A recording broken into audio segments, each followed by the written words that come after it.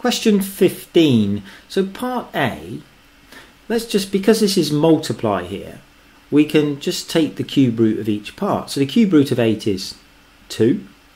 And the cube root of 10 to the 6 is 10 to the 2. Remember, I'm thinking of something that I multiply it by itself, multiply it by itself again, and it gives me 10 to the 6.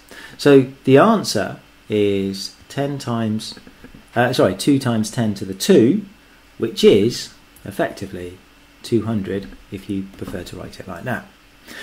Part B, well, 14 to the power of a half, that means the square root of, uh, sorry, 144. So that'd be 12.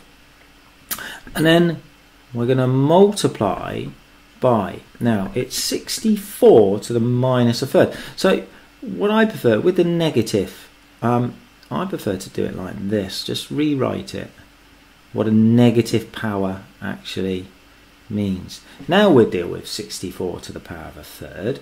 So that just means the cube root of 64, which is 4. So the whole thing is equal to 12 multiplied by 1 over 4, which equals 3. Now part C.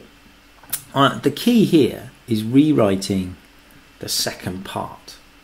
1 over 81. I need to get a 3. I need to use I need to have 3 as the base number because there's a 3 over here.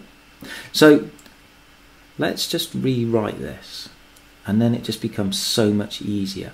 So it will be, I want a base number of 3. Now I can see, so 3 to the power of 4 is 81, but it's, it's going to be a negative there because it's 1 over 81 is, is where we're trying to get to. So now we can simply say 2x equals minus 4. 2x equals minus 4.